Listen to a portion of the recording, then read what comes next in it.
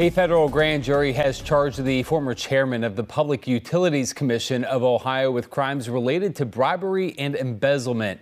Samuel Randazzo of Columbus surrendered in Cincinnati this morning.